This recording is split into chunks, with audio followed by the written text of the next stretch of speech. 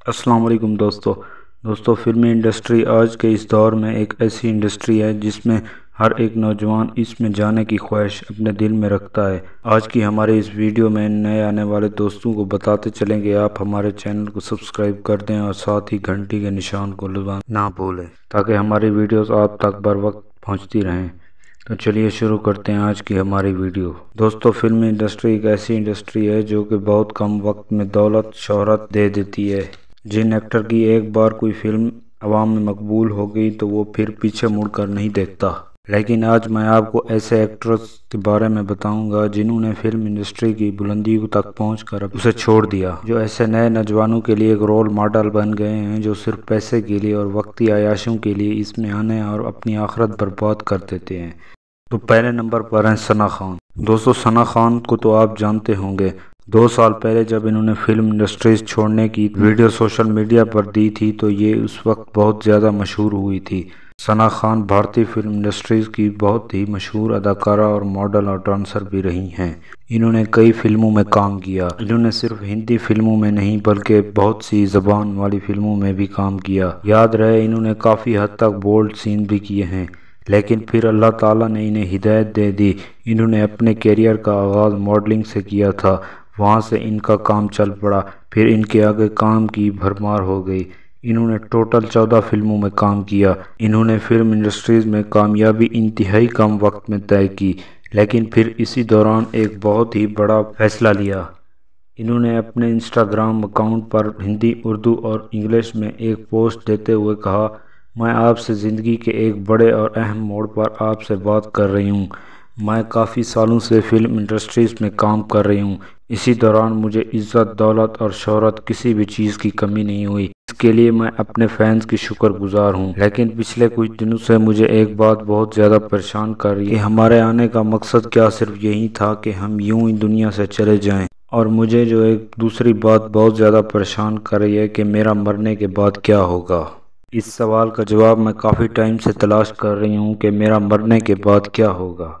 इस बारे में मज़हब हमारी रहनमाई करता है कि ये दुनिया आर्जी है और हमेशा की ज़िंदगी तो वो आखरत की ज़िंदगी है। इसलिए मैंने फ़ैसला किया कि मैं आज से ही फ़िल्म इंडस्ट्री छोड़कर इंसानियत की खिदमत और अपने खालिक के हुक्म पर चलने का पक्का इरादा कर लिया।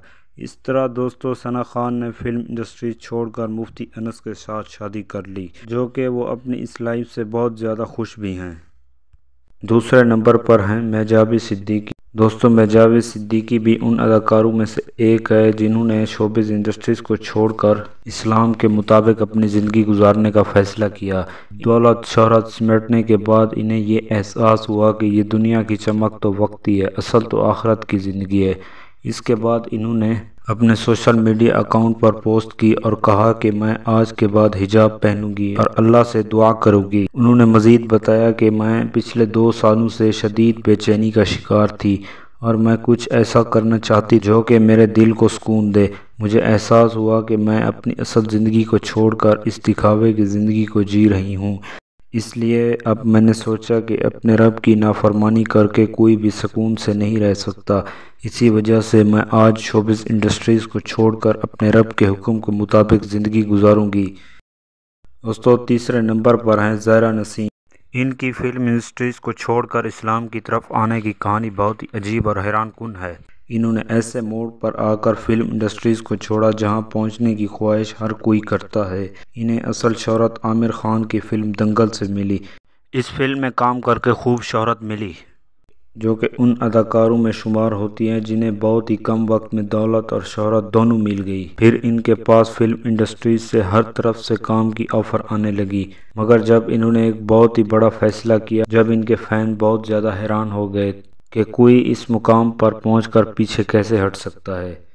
लेकिन ये अपने रब से डरने वाले लोग हैं जिन्हें हर वक्त ये ख्याल होता है कि हमारा मरने के बाद क्या होगा। ये तो अल्लाह ताला का फजल है कि वो जिसको चाहता है चुन लेता है। इन्होंने अपने फेसबुक पेज पर पोस्ट करते हुए कहा कि आज से मैं इस्लाम की तालीमत पर अमल करने के लिए फ़िल्म इंडस्ट्रीज़ को छोड़कर इस्लाम के मुताबिक अपनी ज़िंदगी गुजारूँगी। इन्होंने कहा कि मैं ये सब इसलिए कर रही हूँ कि आज से पाँच साल पहले मैं फ़िल्म इंडस्ट्रीज़ में काम करने के लिए आई थी, जिससे मेरी ज़िंदगी बदल गई थी। मैं चाहती थी कि मैं नौजवानों के लिए रोल मॉडल बनूं, मगर मुझे फ़िल्मों में काम करके ये लगा कि वो नहीं जो मैं बनना चाहती थी। मेरे नज़दीक कामयाबी और नाकामी का ये मैार नहीं है इसलिए मैं आज से इस इंडस्ट्रीज़ को छोड़ रही हूँ। क्योंकि जब से मैंने फ़िल्मों में कदम रखा है कि मैंने महसूस किया मैं अपने दीन और मज़हब से बहुत दूर हो गई हूँ इसलिए मैं आज से फ़िल्म इंडस्ट्रीज़ को छोड़ रही हूँ। नाजरीन यही थे आज की वीडियोज़ के कुछ नाम। जिन्होंने थोड़े वक्त की कामयाबी के लिए अपनी असल ज़िंदगी को नहीं छोड़ा। दोस्तों, आज की हमारी ये वीडियो बस यहीं तक थी। मिलते हैं अगली वीडियो में। अपना ढेर सारा ख्याल रखिएगा। अल्लाह हाफिज़।